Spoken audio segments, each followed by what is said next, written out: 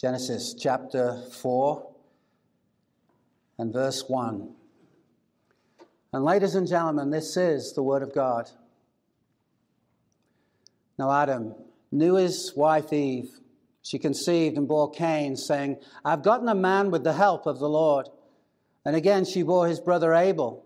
Now, Abel was a keeper of sheep, and Cain a worker of the ground. In the course of time, Cain brought to the Lord an offering of the fruit of the ground. And Abel also brought of the firstborn of his flock and of their fat portions. And the Lord had regard for Abel and his offering, but for Cain and his offering he had no regard. So Cain was very angry, and his face fell. The Lord said to Cain, Why are you angry, and why has your face fallen? If you do well, will you not be accepted?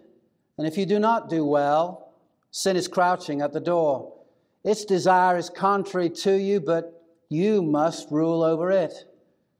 Cain spoke to Abel, his brother, and when they were in the field, Cain rose up against his brother Abel and killed him. Then the Lord said to Cain, Where is Abel, your brother? He said, I do not know. Am I my brother's keeper? And the Lord said, What have you done? The voice of your brother's blood is crying to me from the ground. And now you are cursed from the ground, which has opened its mouth to receive your brother's blood from your hand. When you work the ground, it shall no longer yield to you its strength. You shall be a fugitive and a wanderer on the earth.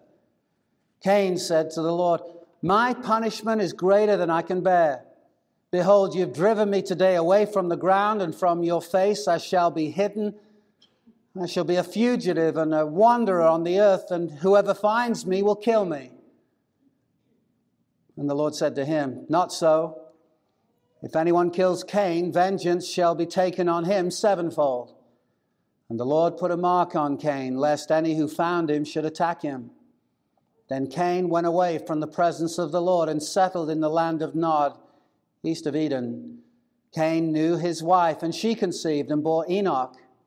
And when he built a city, he called the name of the city after the name of his son, Enoch.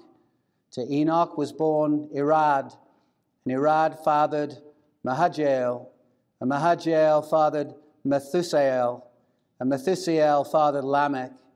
And Lamech had two wives. The name of the one was Adah, and the name of the other Zillah. Adah bore Jabal. He was the father of those who dwell in tents and have livestock. His brother's name was Jubal. He was the father of all those who play the lyre and, and pipe. Zillah also bore Tubal Cain. He was the forger of all instruments of bronze and iron. The sister of Tubal Cain was Naamah. Lamech said to his wives, Adah and Zillah, Hear my voice, you wives of Lamech. Listen to what I say. I have killed a man for wounding me, a young man for striking me. If Cain's revenge is sevenfold, then Lamech's is seventy sevenfold. And Adam knew his wife again, and she bore a son and called his name Seth, for she said, God has appointed for me another offspring instead of Abel, for Cain killed him. To Seth also was to Seth also a son was born, and he called his name Enosh. At that time, people began to call upon the name of the Lord. Let's pray. Gracious God, unveil your truth to us. We are in darkness unless you bring the light. May the entrance of your word bring that light. In Jesus' name, amen. In Spain, back in 1984, uh, Avianca jet crashed into the side of a mountain. As is usual when such a tragedy occurs, an investigation takes place to determine the cause. Soon after the investigation was launched, a very haunting discovery was made. The black box, which, as you know, records much of the elements of what takes place in a flight, when it was found, there was a record of the dialogue of the pilots and the controllers, and it revealed things that happened several minutes before the final impact.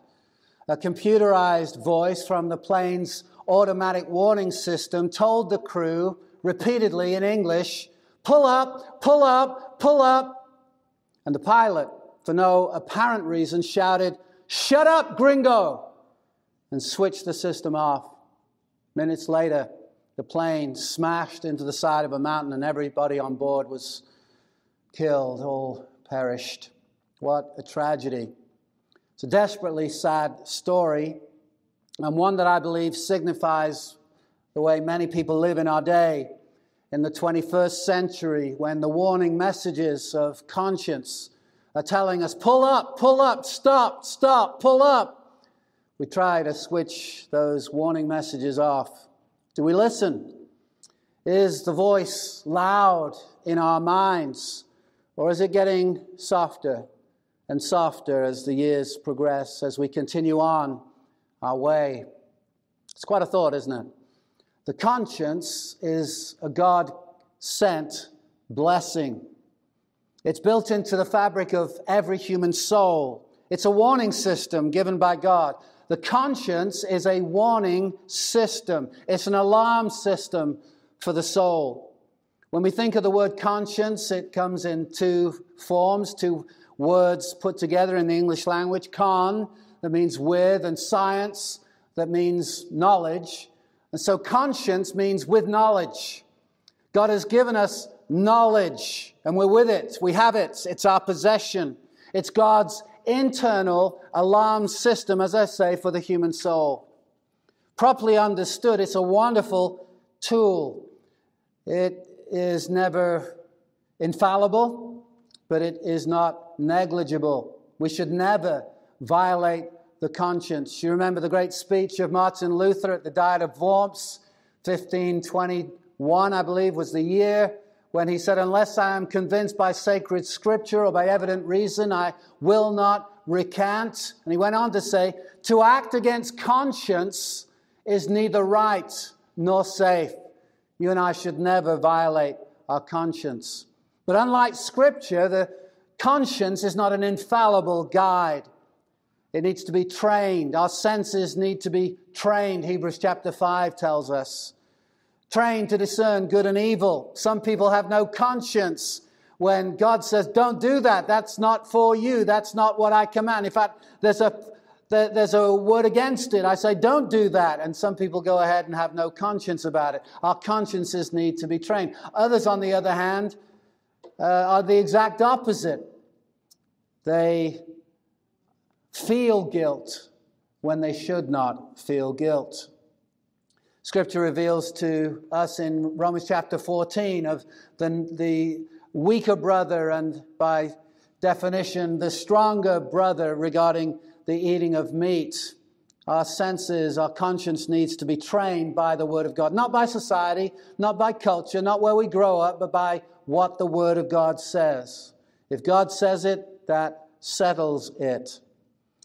But some people who don't feel guilt should feel guilt, and others who are feeling guilt shouldn't feel guilt. We all need to be trained by the Word of God. Scripture testifies that the conscience, in fact, can be seared. We can so ignore the voice of conscience that it no longer makes any noises. It no longer says, pull up, pull up, or stop, stop. We hear it less and less because we give in to sin so readily. That should be a horrendous warning. Should we at one time known things were wrong and then we violate our conscience so we no longer hear conscience again. That is a seared conscience. Romans 1 speaks of the seared conscience in the sense of God giving people over to the sin that they crave. And without God's intervention at that moment, all's over. Sin leads to judgment. We all know that, that's true. But judgment is meted out in that God only, not only judges for sin, but He gives us over to the sin we crave, which itself is a judgment. He gives us to the sin we crave for.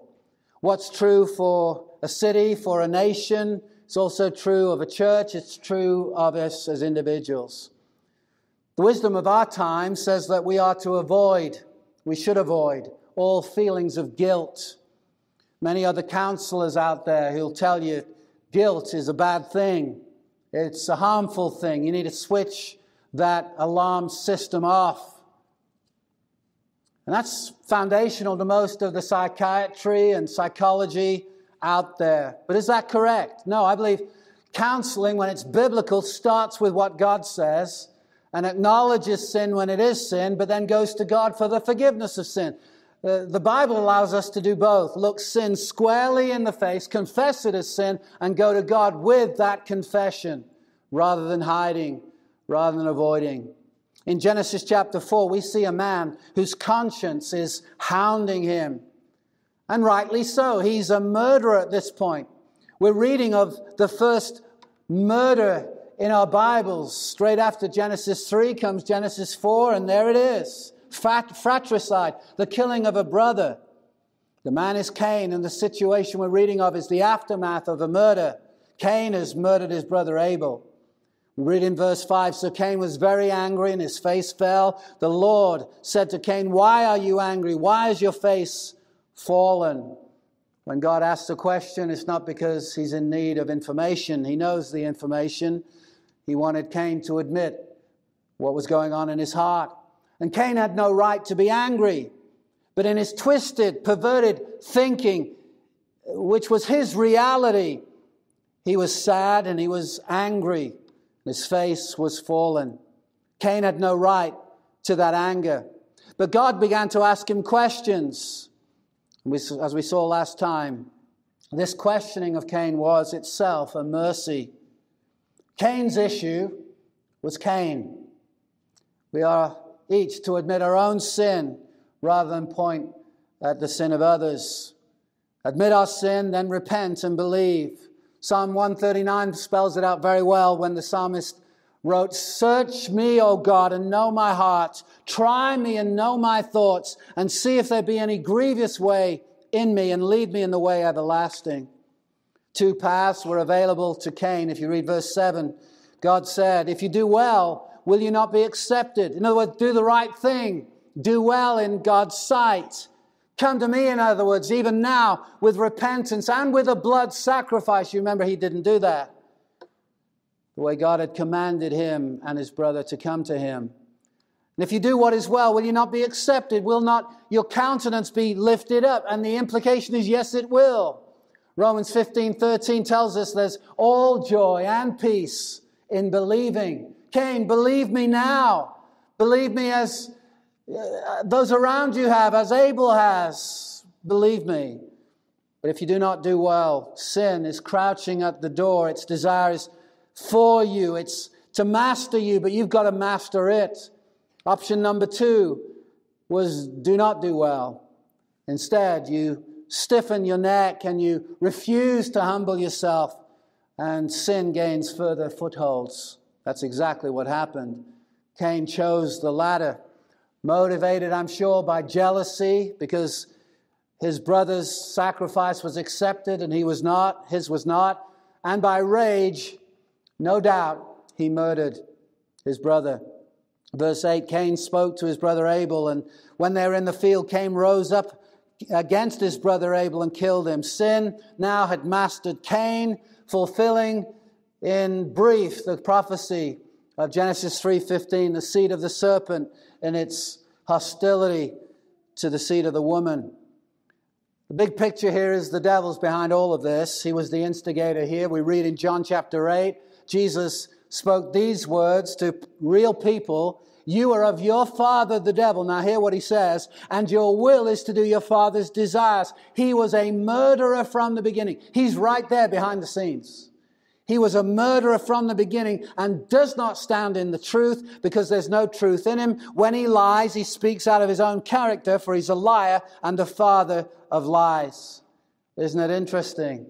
Cain murdered and then he lied, just as the devil's nature surely is. Cain's nature was the devil's nature. Look at verse 9. Then the Lord said to Cain, Where is Abel, your brother? In other words, even now, I'm giving you the chance. Confess your sin. Mercy's available. Mercy's available. But he confounds and even multiplies his sin. His reaction was, I don't know. I don't know where he is. Cain had murdered his brother. Now he's lying about it. Of course he knew. This was a lie. I do not know. Lie. That's a lie. Then he said, Am I my brother's keeper? Actually, yes, he is. Verse 10 And the Lord said, What have you done? Again, God is not asking this to find out information. He knows exactly what has been done. And he spells it out. The voice of your brother's blood is crying to me from the ground. Instead of a blood sacrifice, which is what I commanded, you've now slayed your brother. Now his blood cries out against you. Two voices are in play here God speaking to Cain, and Abel's blood speaking, crying out from the ground.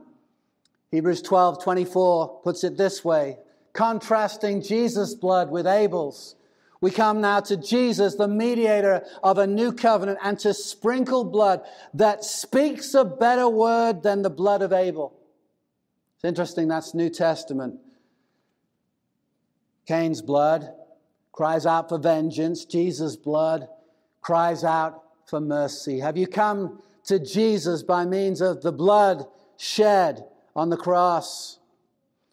Now, judgment comes to Cain and a curse is pronounced. But before we move on, I want to ask you something.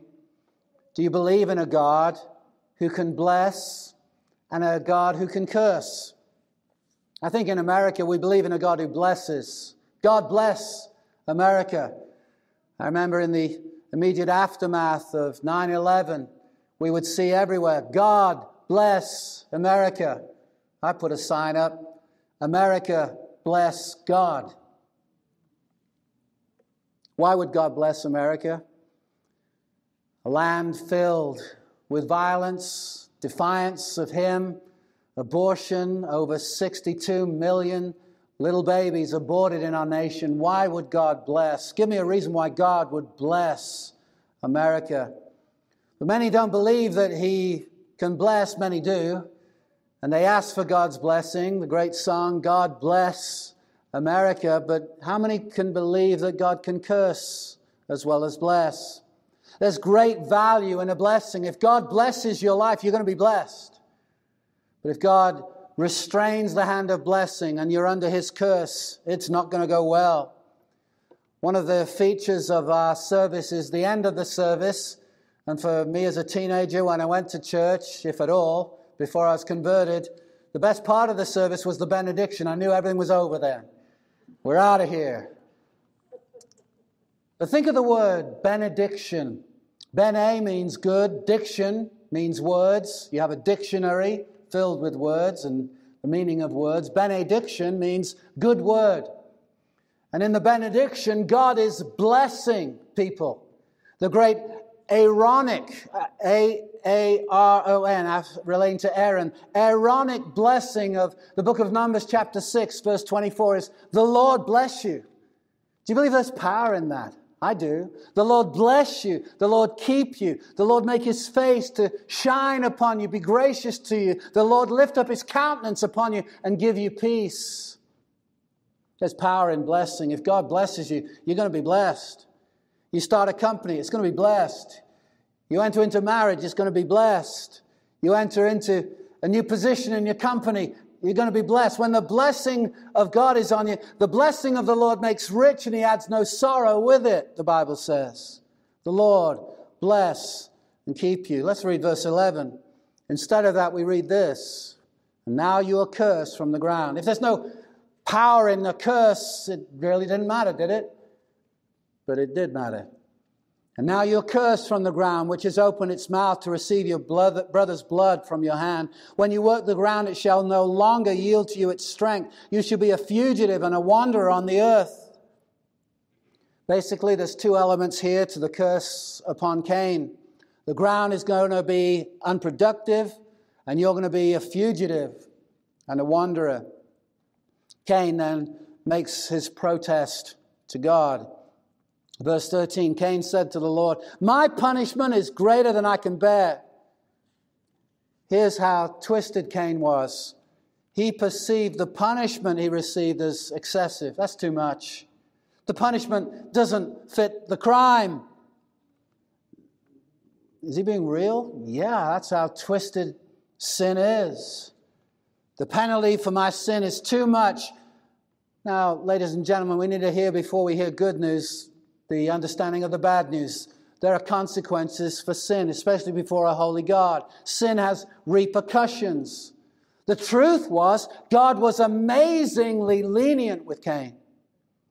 Genesis 9, 5, and 6 was yet to come. You remember where God instructed that when someone killed a man, he himself was to be put to death. That was to come later, but it certainly tells us of God's attitude to the taking of human life. God's attitude to murder was exactly the same here in Genesis 4. It's, it's revealed in Genesis 9. God is the same, He doesn't change. His attitude to murder was the same. But Cain had no true understanding of justice. He should have faced the death penalty, yet he was living with a beating heart. He just didn't get it. May I ask you, do you get it? The verse in Proverbs that's very informative along this line Proverbs 28 5. Evil men do not understand justice, but those who seek the Lord understand it completely. Do you seek the Lord, or is there a heart of evil that does not quite get why God is just when he, be, he actually dispenses justice? You see, it's not a crime for God to dispense justice. You can't stand outside a court and say, We need this judge. We want this judge to be off the bench, no longer functioning. Why? Why? Because he keeps making just decisions. Try that. It's not going to do anything. No, the job of the judge is to be just, and he does not have to show mercy. When the law says this crime deserves 12 years behind bars, he's not unjust when he dispenses that judgment in the court. It's amazing if he says four or three or two, two years rather than 12. But if he just did what the law said, he's done nothing wrong. And when God is just, let's start the sentences again. Since God is just, he will punish, hear this, all sin. Either our sin will be judged on the person in hell forever or on the back of Jesus on the cross. Jesus stood in the place of sinners and took the just judgment of God against them on himself. He was wounded for our transgressions. He was bruised for our iniquities. The chastisement, the punishment that should have been upon us was upon him, and by his wounds we are healed. That's the message of the cross. Do you get it? God is just, Romans 3 says, and the justifier of the one who has faith in Jesus. How can God be just when sinners go free? Because someone stood in their place and took the justice they deserve. God was always just, is always just, always will be just.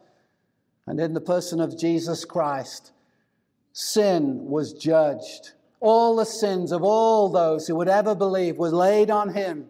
And by his wounds, we're brought back together with God. We're healed. Verse 14 Behold, Cain goes on, You've driven me today away from the ground. Cain was expelled. And from your face I shall be hidden. This does not mean he would not be seen by God, but it means God's favor would no longer be looking on him. There would no, there no longer be any kindness towards him. It's the opposite of the Aaronic blessing. The Lord bless and keep you. The Lord make his face shine upon you, be gracious to you. The Lord lift up his countenance upon you, give you peace. The opposite would be this the Lord curse you and leave you to your own devices. The Lord make his face to cause you to always be in distress and darkness. And may you always sense his anger and hostility. May his countenance always frown on you and cause you to find only strife and unrest. Ladies and gentlemen, believe me, you don't want that. You don't want that at all. Cain goes on, I shall be a fugitive and a wanderer on the earth. Cain realized he was condemned to a life of restlessness. And he thought he'd be hunted down. He'd never have a place that was safe, never have a safe haven. Always restless. Oh, always he'd be singing, but I still haven't found what I'm looking for. It was Augustine who said, Our hearts are restless until they find their rest in Thee. Where are you? Can you allow yourself to be quiet? Do you always have to have music? Do you always have to have something in the background to still the voice of conscience? The Christian, above all, should be able to say, I have peace with God, and my soul is at rest. He said, Whoever finds me will kill me. And I believe Cain's guilty conscience was speaking here. He hadn't heard that from others. But that was his own understanding. His internal warning system was still making some kind of noise. And that conscience is a provision from God. May I ask you, what do you do with your guilty conscience? You might have lived a somewhat righteous life in the eyes of men, but God knows behind the scenes there have been things in your heart, at least, that would not like to be shown on a big screen with a hundred people watching. God sees it all. All things are laid open and bare to the one with whom we have to do.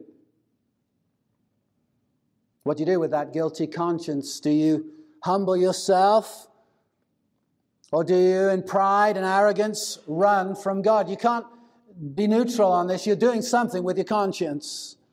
Your conscience will either drive you back to God or you'll run away from Him in pride and in arrogance. Many atheists, after they are converted back to Christ, admit that they ran from God because their conscience made too much noise. Better to deny His existence then be awakened to the voice of conscience.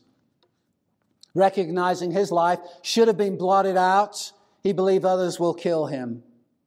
And here's what God could have said Absolutely, yes, that's right. If someone finds you, they will kill you. That's not what we read. Instead, we read verse 15 Then the Lord said to him, Not so. Oh, what mercy. Not so. If anyone kills Cain, vengeance shall be taken on him sevenfold.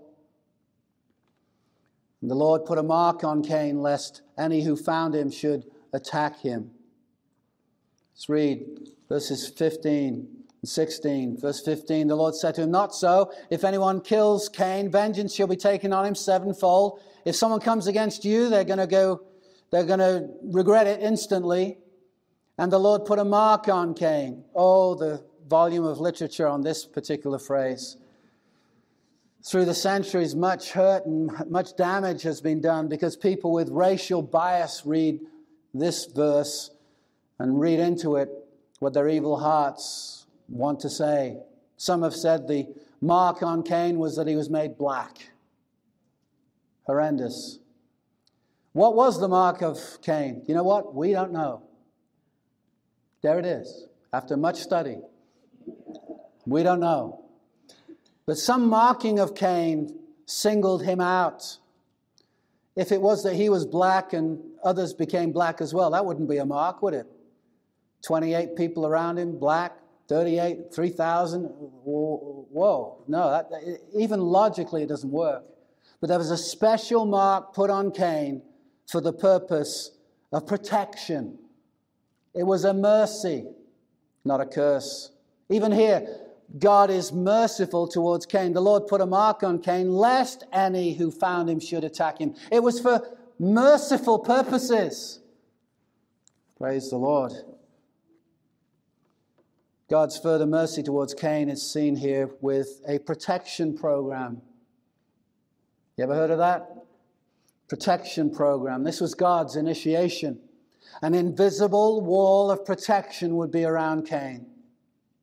Sevenfold vengeance is declared on anyone who kills him. Cain deserved harsh treatment, and yet God, in kindness, is seen here, and we're witnessing mercy once again. It's mercy after mercy after mercy. You see, none of us deserve mercy. By its very definition, mercy is undeserved, it's unmerited favor. Remember in Matthew 5, verse 45, Jesus said, God causes the sun to rise on the just and the unjust, rain to fall on the just and the unjust. That's mercy. You see, if you and I were God and we didn't like someone, If we saw a terrorist, we'd cut off his air supply 10 feet around him. God lets many opposers to him live and live long. Some live to be even 100 years old. God is very merciful. We call this common grace, not because it's worth little, but because it's common. Anyone who's living gets it. If you're alive, God is merciful to you. You and I didn't deserve to wake up this morning. Quite a thought. What has God done for me lately? He's holding your brain cells together while you defy Him. The mark, we don't know what it was, but it was a merciful sign and it ensured protection for Cain, who deserved the death penalty. Cain's expelled, he's driven out. Where does he go? He goes to the land of Nod, east of Eden. Verse 16 Cain went away from the presence of the Lord and settled in the land of Nod, east of Eden. That location, Nod, is unknown. All we know about it is the description that follows it's east of Eden. Verse 17, we read of Cain knowing his wife. Isn't that interesting? It's same as we read earlier in the chapter. Adam knew his wife. Eve. Now, Cain knew his wife, and she conceived and bore Enoch. By the way, this is not the Enoch who would later walk with God and was not. That would come later. Genesis 5, verse 4 tells us. We read here of the children. She conceived and bore Enoch, and when he built a city, he called the name of the city after the name of his son Enoch.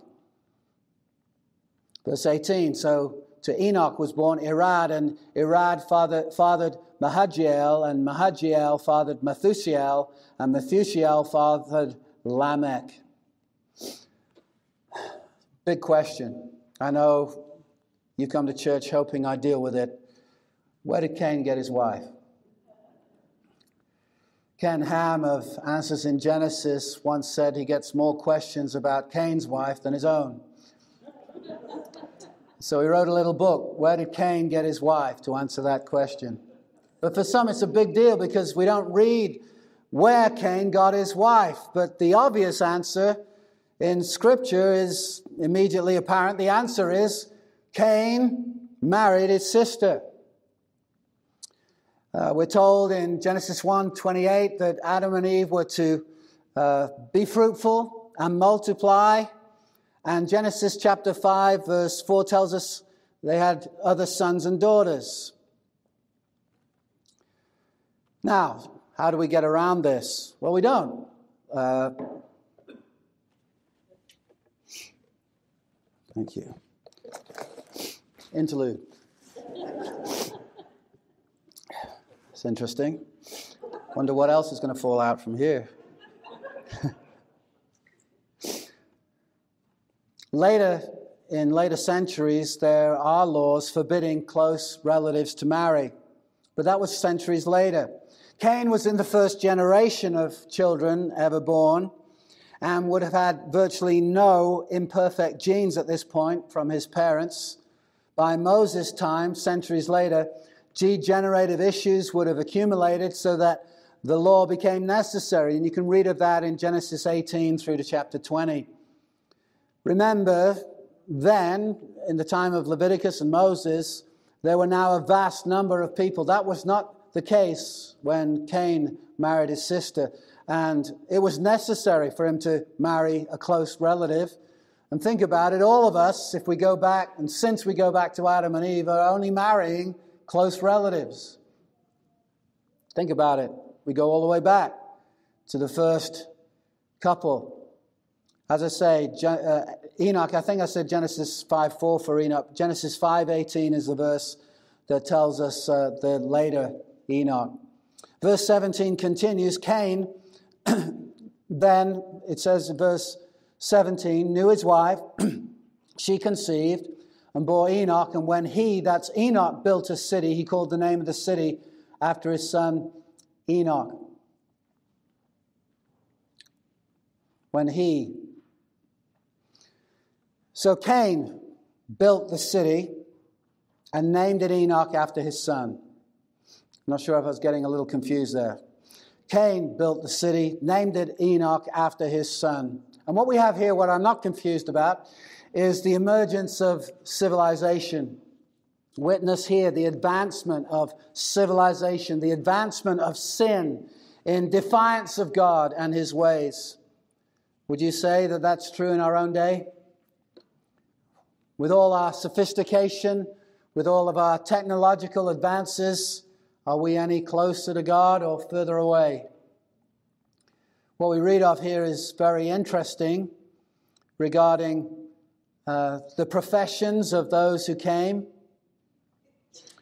Verse 20 Adah bore Jabal. He was the father of those who dwell in tents and have livestock. His brother's name was Jubal. He was the father of all those who play the lyre and harp and pipe. What we read here is instruments being forged. What we read here is interesting regarding his history, where things came from. Verse 22 Zillah also bore Tubal Cain. He was the forger of all instruments of bronze and iron. The sister of Tubal Cain was Naamah. And then we have this major boast of Lamech. He says to his wives, Wives, wives, plural, that's the first of its kind polygamy. Lamech said to his wives, Adah and Zillah, Hear my voice, you wives of Lamech. Listen to what I say. Wives of Lamech, he's speaking in the third person. He speaks so boastfully. What does he say? I've killed a man for wounding me, a young man for striking me. There's a familiar ring to this kind of boast. And again, this is Cain's line in view here. Pride reeks coming out from the pages of our Bible. Oh, the pride here. He had such a high view of himself. He was self important. He had an, a major inflated ego. He was a self made man who worshiped his maker. Think about that. This is an outlandish statement. Someone wounds him, and he overreacts and kills him. And in pride, not only does he do this, but he boasts about it to his wives. This is defiance. I'm going to marry as many people as I want. I'm not going to listen to God. I'm going to do my thing. And if someone comes against me, they're going to really pay. What did he say? If Cain's revenge, verse 24, is sevenfold, Lamech's is 77fold. They're going to wish they never messed with me. This is outlandish. If someone wounds you, there's no need to kill him. But Lamech had such a high view of himself, anything goes.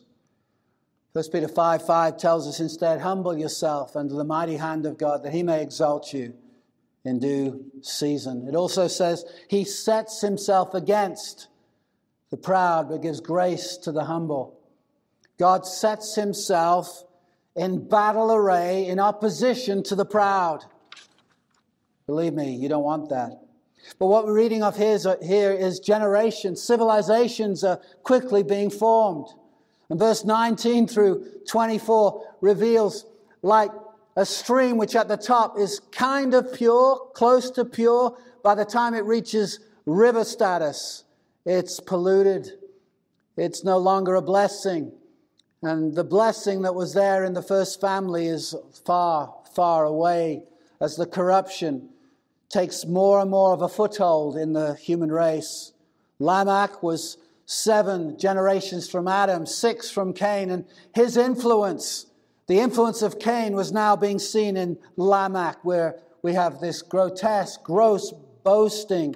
It was passed down, it was passed on. He had two wives, and he went against God's original intent and design. And now this family is all at odds. There'd be nomads, there'd be a lifestyle of moving from place to place. Jabal invented musical instruments, the lyre, which speaks of a stringed instrument, the pipe, which speaks of a wind instrument. And yet, in all this, they gave no attention and thanks to God. And Romans chapter 1 describes the downward spiral of the human race as they refuse to glorify God or be thankful. 1 Corinthians 4 7 puts it this way What do you have that you did not receive? And if you did receive it, why do you boast as though you did not? Think of anything that's a blessing in your life the clothes you're wearing, the food you will eat today, the sleep that you might have got last night, any of it and all of it is God's gift.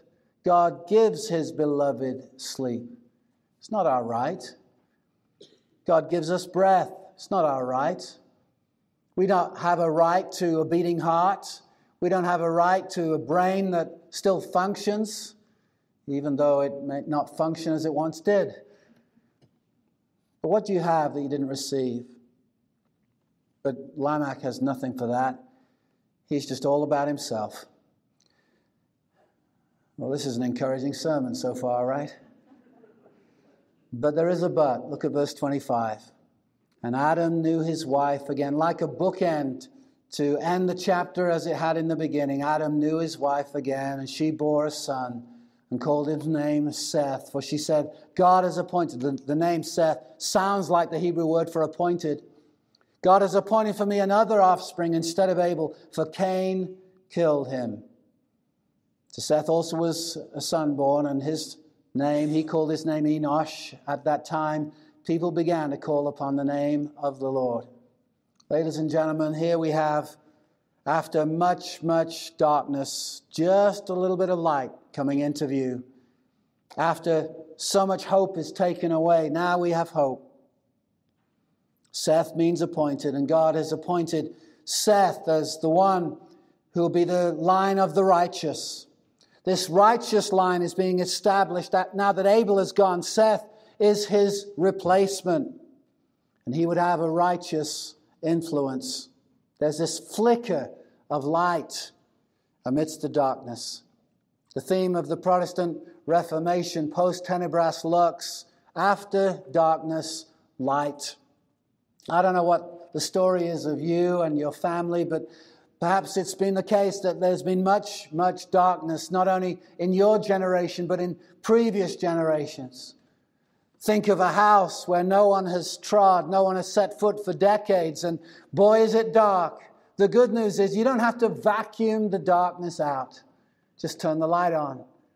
And the entrance of God's word gives light. And perhaps it is the case that for you, God has made a change in your life so that now there is light in your family. It has been dark. There's been a, a, history of people caught up in false religion and false theories about God, and now you've got access to the truth and you're reading your Bible. How gracious God is in giving you that light. Now you see it, and now you can make a change. It doesn't have to be, your children doesn't have to be the way previous generations ended up. They can be people that serve God. Thank God. There's always hope. God steps in. And to Adam and Eve, Seth was born. And look at the result. At that time, people began to call upon the name of the Lord. This was a turning point. We've read of darkness upon darkness and spiral upon spiral, down and down, down and down we go. But suddenly God steps in and says, But that's not the end. I am raising up a remnant. I'm raising up a people who'll want me. God starts the process and it becomes a turning point. Do you realize this? God often works his best works in the midst of chaos. We only have to go back a few chapters and read of Genesis chapter 1. All was in darkness, all was void. Was it all over? No. And God said, Let there be light. And there was light. Perhaps this day God is saying, light shine in your heart. And it's a turning point for your generation and those who come after you. What an answer to prayer that would be. Ladies and gentlemen, there was light after the darkness. And the light of the glory of the gospel of Jesus Christ shines in your heart. And you'll be able to see what people could not see before. Oftentimes, when people tell of a conversion story, those who are at work say, Oh, you've seen the light, have you? Oh, yeah, you've seen the light. But in all reality, that's what's happened. 2 Corinthians 4 tells us the light has shined just as at creation. It shined in your heart, and you can now see the value and the worth and the treasure of Jesus. And you think he's not only worth living for, he's worth dying for. This treasure is beyond all earthly treasure. He's not just a name in a book. He's not just a historical figure, but by the power of the Holy Spirit, this same Lord Jesus has stepped into your heart so that you realize He's real, He's alive, He's worth living for, dying for, and He's going to come back again. And you, people around you say, Whoa, what's happened to you? I've seen the light. Yes, I've seen the light. God shined His light in my heart. What a miracle. I pray it happens in your life so that today you value the gospel story more than any other story. It's the story you want to tell your kids. It's what you tell you what you want to tell your grandchildren.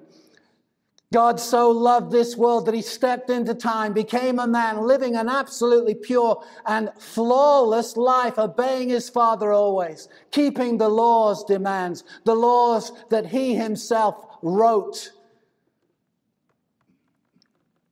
And on the cross, he died in the place of lawbreakers and rose again from the dead three days later, and is this, at this moment in the place of supreme authority in the universe.